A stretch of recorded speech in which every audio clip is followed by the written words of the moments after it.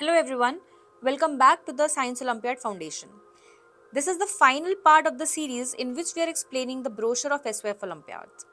In today's video, we will show you how to fill an OMR sheet carefully without making any silly mistakes. So let's get started. This is the sample OMR sheet that we will be using to demonstrate how to fill an actual OMR sheet. An OMR sheet has two sides. This is the side 1 and this is the side 2.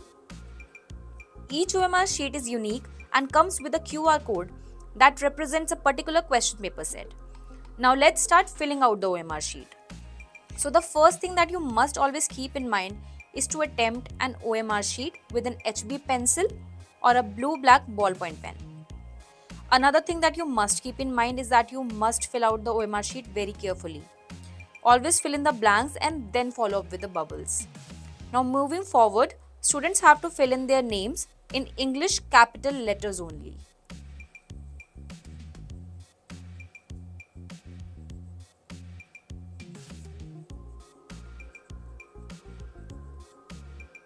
Now suppose that your school code is GD0147. Here is how you fill it.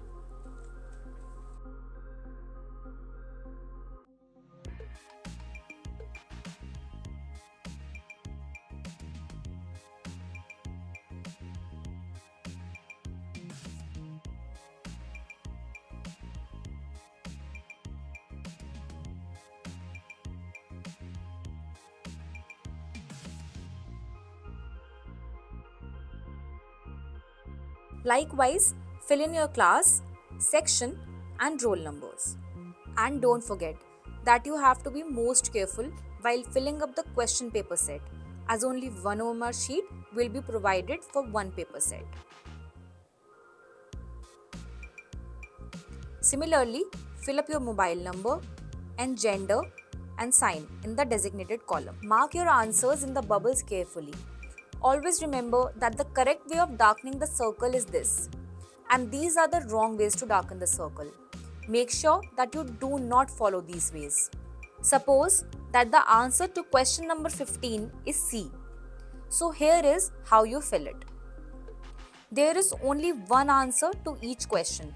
So do not fill more than one bubble.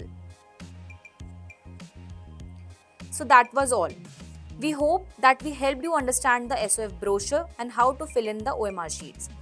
If you still have any queries, feel free to reach out to us at info.sofworld.org. Thank you.